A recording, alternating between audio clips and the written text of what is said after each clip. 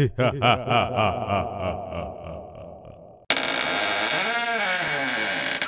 Halloween! Almost. Welcome to Cook with Amber. And today we're making Halloween treats. And since it's almost Halloween, we're in our last year's costumes because our costumes for this year haven't come yet. So here's my costume. And my mom let us wear a little makeup just for fun. So I'm gonna quickly show you our jack-o'-lantern babies. We need a Sharpie, some oranges. We got Satsumas here, they're mini oranges. But you can do all sorts of different faces. So it's kind of like carving a pumpkin without the carving part. Yep. They're really fun. I like that one. And yummy and healthy too. These little guys are creepy apple bites. They are so easy and fun to make. And you only need four ingredients. Slivered almonds, some peanut butter or almond butter. We have an all-natural fruit roll-up without any artificial colors or flavors. And some apple slices that have been thinly cut about that big. And some scissors and a cutting board. We are gonna take two of our slices and our butter knife and we're using Valencia peanut butter and we're gonna spread a tiny bit. You don't wanna go like peanut butter overload. Oops, that didn't work. But just a nice thin layer on both of your apples.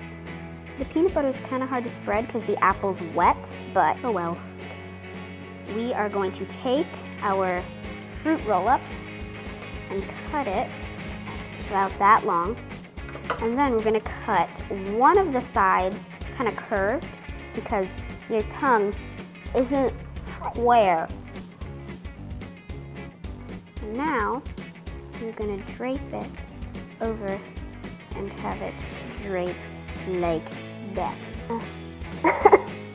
All right, are you ready to stick in our teeth? Yeah. Okay, you get the top lip, I got the bottom. So we have some slivered almonds. You're just gonna start jabbing them in here. And if, like the long ones, you wanna just stick in, and the short ones, you can kind of just rest there, but all different directions, because this guy does not take care of his teeth. So they're gonna be all crooked. Go crazy! Cool. Perfect. We're gonna drape this over top, and you have your creepy apple bite. Ta-da! Yum. That looks so creepy.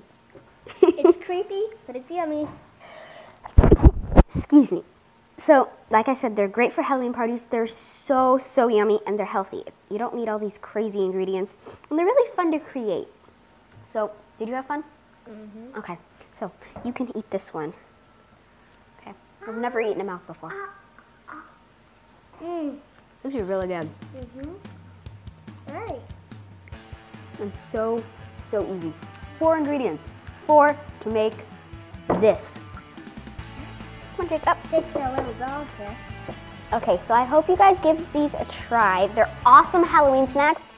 Try the ja- the baby jack o' lanterns. They're awesome, and they're it's kind of like a craft. Oh, hi.